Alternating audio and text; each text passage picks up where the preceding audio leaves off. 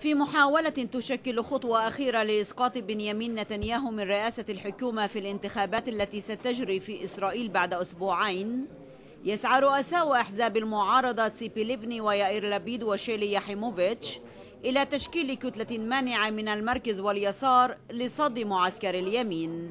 وتثير هذه الخطوة قلقا داخل حزب الليكود.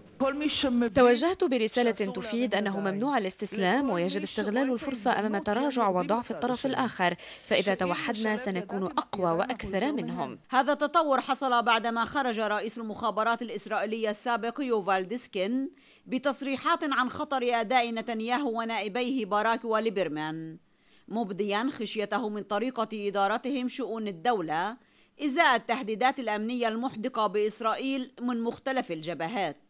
نتنياهو لم يخفي قلقه من آثار هذه التصريحات فاستغل جلسة حكومته وراح يحاول التغطية عليها بالعودة إلى سياسة تخويف الإسرائيليين من الخطر الأمني. فأبرز ما ادعاه من تهديد على الحدود المصرية وواصل التحذير من خطر التطورات في سوريا وشدد على أهمية إقامة سياج أمني على طول الحدود مع سوريا والأردن. من الحدود الجنوبية المخاطر تتزايد ومن الجهة السورية على حدودنا نرى أن الجيش السوري ابتعد وجاء مكانه الجهاد العالمي. ولذا نحن ملزمون بالدفاع عن هذه الحدود لمنع دخول المتسللين وأيضا الإرهابيين. وفيما أبرز نتنياهو مواجهة خطر صواريخ إيران وحزب الله وحماس في دعايته الانتخابية.